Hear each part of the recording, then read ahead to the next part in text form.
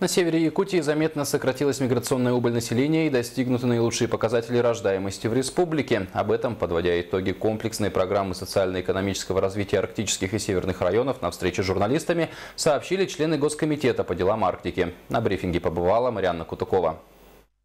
Если в 2013 году арктические и северные районы покинули более 2000 человек, то по итогам прошлого года убыль населения составила 491 человек. За последние 7 лет прирост наблюдается в Аллаиховском и Анабарском районах, а лучшие показатели рождаемости в Оленекском районе. Такие улучшения – это последствия комплексной поддержки Севера, от строительства социальных объектов до создания транспортной доступности.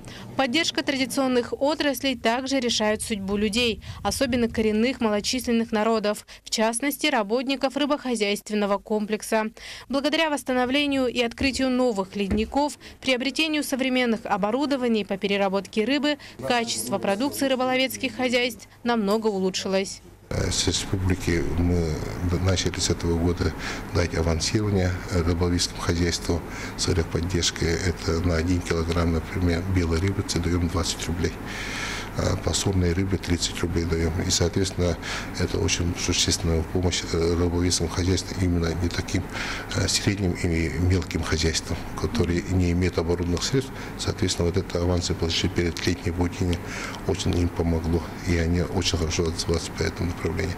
Поэтому в этом направлении мы ничего менять пока не будем. Государственную поддержку ощутили и оленеводы. С 2014 года со стартом комплексной программы количество оленей оленей увеличилась почти на 20 тысяч голов. Модернизация убойных цехов также сказалась на качестве продукции. С этого года начата работа по чипированию или электронной паспортизации оленей. Они преследуют какие цели. Это первая очередь это учет и контроль за поголовьем оленей. Второе – это качество продукции, которую мы должны контролировать за счет идентификации э, животных, которые мы проведем. Она, соответственно, животное, домашнее э, животное проходит вакцинацию. Все, что мы обрабатываем, это она должна учитываться. До 2020 года Якутия намерена увеличить поголовье оленей до 200 тысяч, а пока на сегодня их насчитывается 174 тысячи.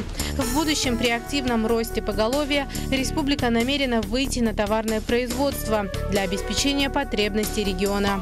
Марьяна Кутукова, Максим Ростовцев, НВК «Саха», Якутск.